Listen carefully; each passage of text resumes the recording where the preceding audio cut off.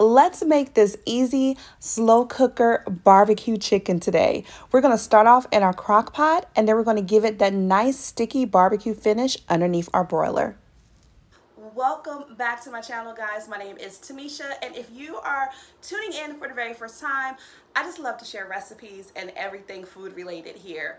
But if you have been here since the beginning, like the past four years, then you already recognize this background. Um, I am back to where it all began. This is where I filmed um, the first several years of my channel right here in my mom's kitchen and I am going to be back here for the next several videos to come. So you already know it's going to be good when you take it back to where it all started.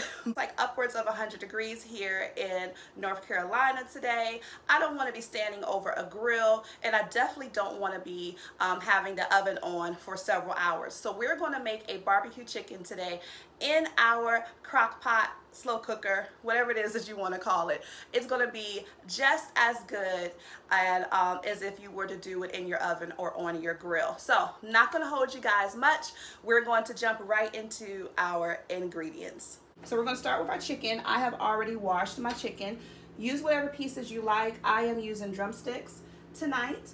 And I'm going to start off with this Ajika seasoning. This is the Ajika Georgia. I hope I'm pronouncing that right.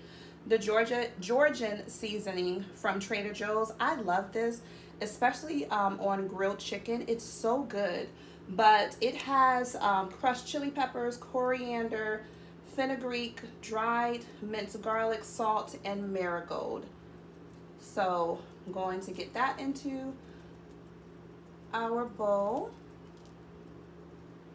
And you want to season this up really good. You can also use a, um, a grill rub, like the chicken spice rub if you wanted to. But if you got a bunch of seasonings like I do, just um, make your own. So this is good. I use a lot of this. okay, so we're also going to go in um, easy with the salt. This has a little bit of salt in it, so I'm just going to add just a little bit more. Probably about a teaspoon worth. And like I tell you guys always, season to your preference. I'm to add in a little bit of black pepper. I'm to add in some garlic powder.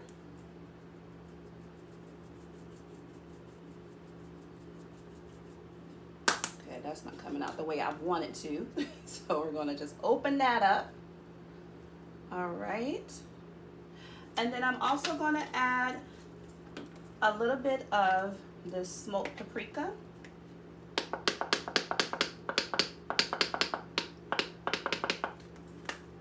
some onion powder,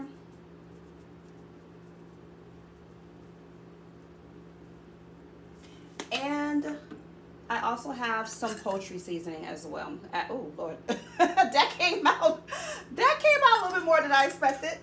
Okay. and then guys, I almost forgot, I almost forgot.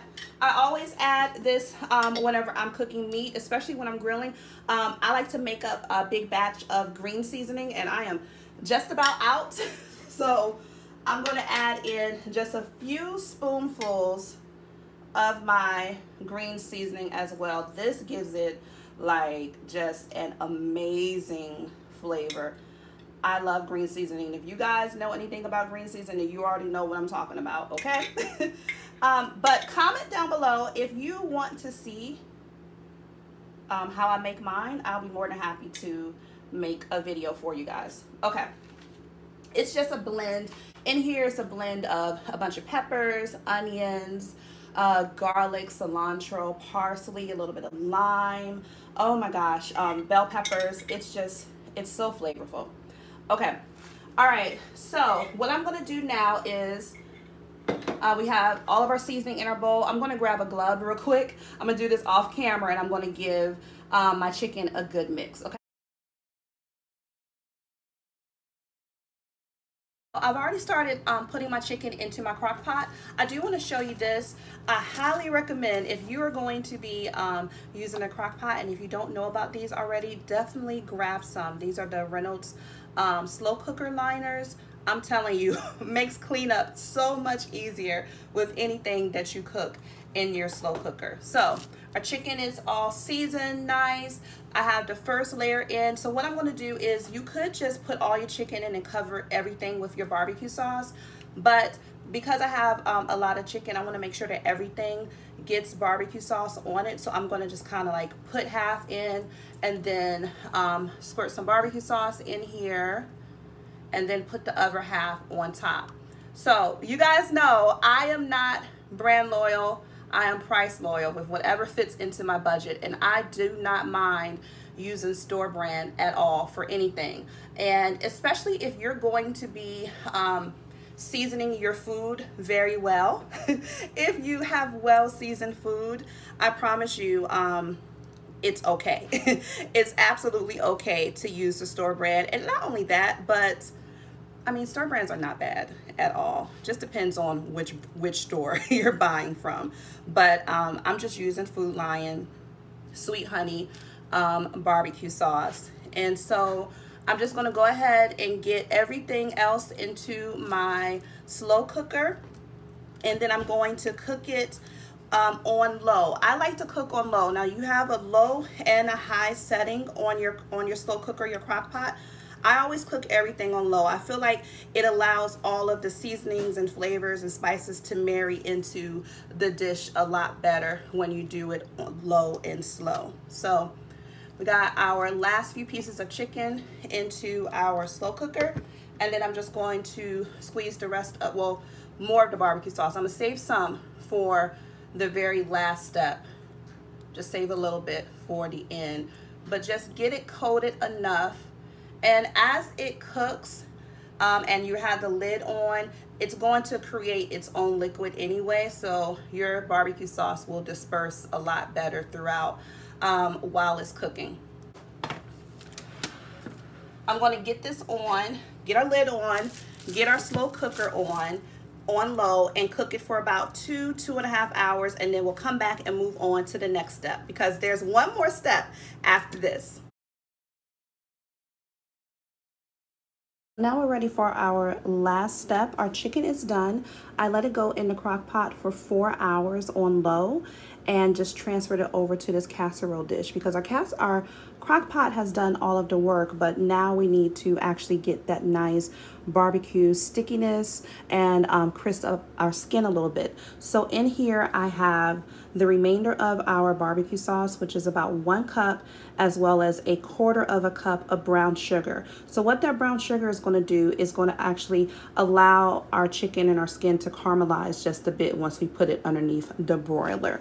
So I'm just going to use my brush and get a nice basting of our sauce on here. And we're going to pop it into our oven underneath our broiler for anywhere between three and five minutes. Now, what's important about the broiler step is that you do not walk away. Once you put it in the broiler, stay right next to it. And I would even encourage you to maybe keep um, the oven door open slightly, just like a little crack so you can watch it because because of that brown sugar underneath the heat of that broiler, it is going to um, go pretty quickly in there and you don't want to actually burn your chicken. So we're just going to finish getting this coated and get a good thick layer of sauce on here as well.